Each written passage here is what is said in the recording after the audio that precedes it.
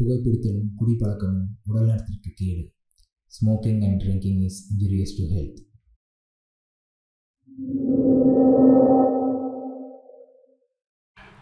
hey guys இன்றைக்கி நம்ம ரொம்ப வித்தியாசமான ஒரு அமானுஷத்தை பற்றி தான் பார்க்க போகிறோம் அதுவும் நமக்கு விழுப்புரத்துலேருந்து ஒரு அக்கா ஃபோன் பண்ணாங்க. என்னோடய இன்ஸ்டாவில் கால் பண்ணாங்க. கால் பண்ணிட்டு அவங்களுக்கு நடந்த அந்த எக்ஸ்பீரியன்ஸ் என்கிட்ட ஷேர் பண்ணியிருக்காங்க. அதை பற்றி தான் நம்ம இன்றைக்கி இந்த வீடியோக்குள்ளே பார்க்க போகிறோம் வாங்க வீடியோக்குள்ளே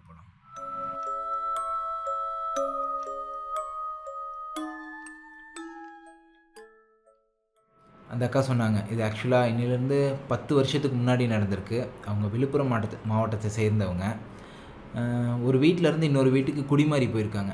ஓகே அந்த வீடு சின்னதாக இருக்குது கொஞ்சம் பெரிய வீட்டுக்கு போகலாம் ஒரு மாடி வீட்டுக்கு போகலாங்கன்னு ஒரு ஆசையில் ஒரு வீட்டுக்கு போயிருக்காங்க.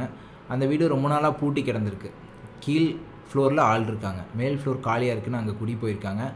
ஹவுஸ் ஓனர் வீடு நல்ல வீடுங்க அப்படின்னு சொல்லி கொடுத்துருக்காங்க. வாடகைக்கு குடி போயிட்டாங்க. குடி போன நாள்லேருந்து அந்த அக்காவுக்கு உடம்பு சரியில்லாமல் போயிட்டே இருந்திருக்கு. எல்லா ஹாஸ்பிட்டல்லாம் போய் பார்த்துருக்காங்க. ஆனால் அவங்களுக்கு உடம்பு ரெடியே ஆகவே இல்லை. என்னடா இது இப்படியே இருக்குன்ட்டு. அதே மாதிரி வீட்டில் மத்தியான நேரம் யாருமே இல்லாட்டி அந்த அக்காவுக்கு உடம்பு ரொம்ப வலிக்குமாமா. யாரோ நம்மளை அடிச்சு போட்ட மாதிரி உடம்பெல்லாம் வலிக்க ஆரம்பிச்சிருக்கு. அப்புறம் ஈவினிங் ஆகும்போது விளக்க போடுற நேரம் வந்தாலே ஐயோ ஏன்டா இருட்டாகுது? அப்படின்னு அவங்களுக்கு மனசு ஒரு மாதிரி பதறுமாம்மா ஏன் என்னன்னே தெரியாதாம்மா நைட்டு நல்லா தூக்கம் வராதாம்மா. அவங்க ஹஸ்பண்ட் வந்து ஒரு கவர்மெண்ட் பஸ்ஸில் கண்டக்டர் ஒர்க் பண்ணுறவர் அதாவது சென்னை டு திருப்பூர் மதுரை இந்த மாதிரி போகிற வண்டியில் ஒர்க் பண்ணுறாரு ஸோ அவர் நைட் டியூட்டி போயிட்டாருன்னா இந்த அக்கா குழந்தைங்க மட்டும்தான் இருப்பாங்க. இந்த அக்காக்கான ஒரு அன்ஈஸியான ஃபீலாக ஃபீலிங்காகவே இருக்குமாம்மா யாரோ நம்மளை வாட்ச் பண்ணுறாங்க யாரோ நம்ம கூடவே இருக்காங்கிற மாதிரி ஃபீல் ஆகிட்டே இருந்திருக்கு.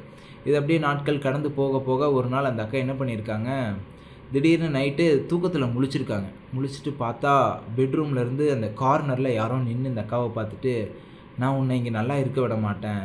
நீ இவ்வளோ சந்தோஷமாலாம் இருக்கக்கூடாது. உன் குழந்தைகளை கொன்று உன் புருஷனை விட்டு போயிரு. இப்படி ரொம்ப நெகட்டிவ் வைப்பில் ஏதோ ஒரு ஆன்மா அந்த அக்காட்ட பேசியிருக்கு. இந்த அக்கா இது என்னடா யாரா பேசுகிறாங்கன்னு சொல்லிட்டு நல்லா கண்ணை தின்ட்டு முழிச்சு பார்க்குறாங்க பார்த்தா தூங்கிட்டு இருந்திருக்காங்க. அந்த அக்காவுக்கு சரியாக தட்டுப்படவே இல்லை. அது கனவா இல்லை நினைவான்னு. இப்படியே நாள் போகுது போகுது போகுது. அவங்களுக்கு நாளுக்கு நாள் வந்து கஷ்டம் தான் எச்சாயிட்டு இருக்கு பணம் செலவாகுது உடம்பு சரியில்லாமல் போகுது. அந்த வீட்டில் வந்துட்டு அவங்களுக்கு அந்த மன நிம்மதிங்கிறது மொத்தமாக சீரழிஞ்சு குழஞ்சு போச்சு. இவங்களோட வாழ்க்கை கேள்விக்குறியாகிற கண்டிஷனில் இருக்கும்போது அவங்க அம்மாட்ட போய் இதெல்லாம் சொல்கிறாங்க சொன்னோடனே அவங்க அம்மா என்ன சொல்கிறாங்கன்னா உனக்கு அப்படிலாம் இருக்காதுமா எதுவும் இருக்காது. நீ எதையோ போட்டு கற்பனை பண்ணிகிட்டு இருக்க. நான் வேணால் அவங்க கூட வந்து இருக்கிறேன்னு சொல்கிறாங்க உடனே அவங்களும் இவங்க கூட வந்து இருக்கிறாங்க. கூட வந்து இருந்தோடனே அவங்க அம்மாவுக்கும் அதே மாதிரி ஃபீல் ஆகுது. அவங்க அம்மா சொல்கிறாங்க ஆமாம்மா இந்த வீட்டில் என்னமோ இருக்குது நீ பக்கத்தெல்லாம் விசாரித்து பார்த்து அந்த வீட்டுக்கு வந்து என்னையும் இல்லைம்மா வீடு நல்ல வீடாக இருந்துச்சு அதாம்மா நான் பாட்டுக்கு வந்துட்டேன் அப்படின்னு சொல்லியிருக்காங்க. உடனே அவங்க அம்மா என்ன பண்ணியிருக்காங்க வா பக்கத்தில் போய் விசாரித்து பார்க்கலாம் சும்மான்னு சொல்லிட்டு போய் கேட்குறாங்க கேட்கும்போது அப்போ தான் அவங்க சொல்கிறாங்க ரெண்டு வருஷத்துக்கு முன்னாடி கீழ் வீட்டில் குடித்தனம் இருந்தாங்க அப்போ வந்து அந்த பொண்ணுக்கு என்னாச்சு என்னன்னு தெரியல. திடீர்னு அவங்க வீட்டில் சிலிண்டர் வெடிச்சிச்சு. வெடித்ததில் அந்த பொண்ணு மட்டும் இறந்துருச்சு. இறந்தப்போ அந்த மேல் வீடு காலியாக இருந்துச்சு. ஒருவேளை அந்த இறந்த பொண்ணோட ஆன்மா தான் மேலே இருக்கும்னு நினைக்கிறேங்க. நாங்களுமே இங்கெல்லாம் பார்த்துருக்கோம். ஒரு சில நாள் நைட்டு உங்கள் வீட்டு மாடியில் யாரும் நடப்பாங்க. நாங்கள் நினச்சோம் நீங்கள் தான் யாரோ நடக்கிறீங்கன்னு. ஆனால் நைட் நேரத்தில் யாரா நடப்பாங்கன்னு சொல்லிட்டு நாங்களும் அதை பெருசாக எடுத்துக்கல விட்டுட்டோம்.